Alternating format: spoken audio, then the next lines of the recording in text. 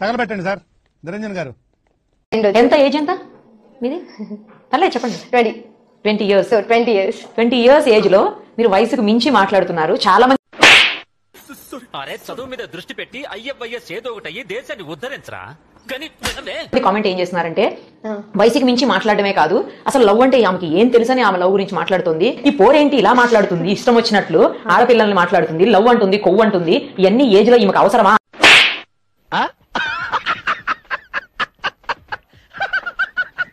Age చూసి రావడం ఏంటి? ఇప్పుడు ఏదైనా ఆలోచించే మైండ్ ఇంకా మెచ్యూరిటీ అయి ఉండొచ్చు కదా. ఏజ్ చూసి ఎవరికి అంటే ఏజ్ పరంగానే మెచ్యూరిటీ వస్తుంది అనేది పెద్దల అభిప్రాయం. అంటే అది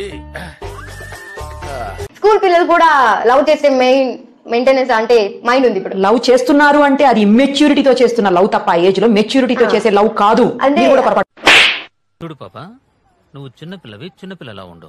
మధ్యలో మాట్లాడదు. అర్థమైనా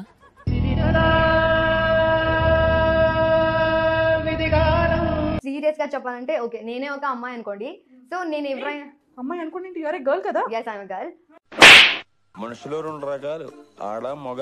ఇది మూడు టైపా? లాయర్ అవ్వాలి. అంటే నా ఫ్రెండ్లోనే ఉంటారు. అరే లంచం అడుగుతుంటే ఇవ్వ ఇవ్వలేని సిచ్యువేషన్ అప్పుడైతే చాలా ఏడుపు పెద్ద సమస్య వచ్చి పడిందే. అండ్ కోర్టులో కేసెస్ ఇంతలా జరుగుతుంటే నాకు కూడా అనిపిస్తుంది. నేను ఒక లాయర్ అయింటే ఇం- లాయర్కి లంచానికి అసలు సంబంధం లేదే. ఉంది.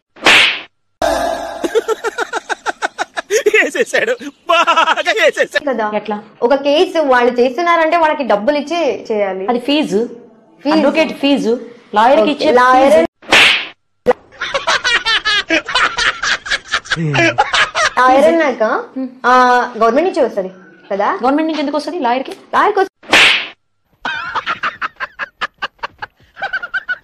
ఎవరు? గవర్నమెంట్ జాబ్ ఇదే lawyer is a government job government నుంచి వస్తుంది. లాయర్ గవర్నమెంట్ జాబా అవును లా-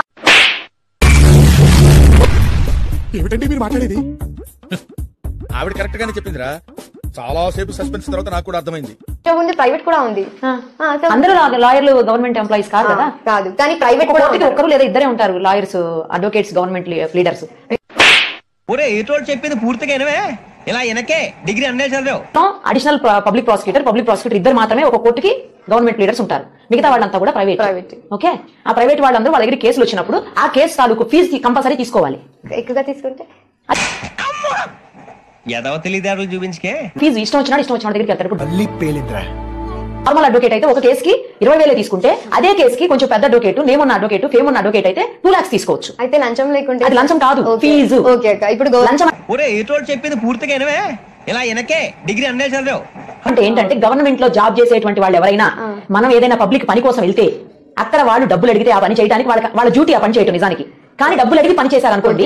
అప్పుడు మాత్రమే అది లంచం తీసుకున్నట్టు? ఇప్పుడు- మీరు ఏదైతే కోరుకుంటున్నారో అదంతా జరగాలని చెప్పేసి కోరుకుంటూ మీరు ఇంకా చాలా మెచ్యూరిటీని సాధించాలని సాధిస్తారని ఆశిస్తూ. Thank you so much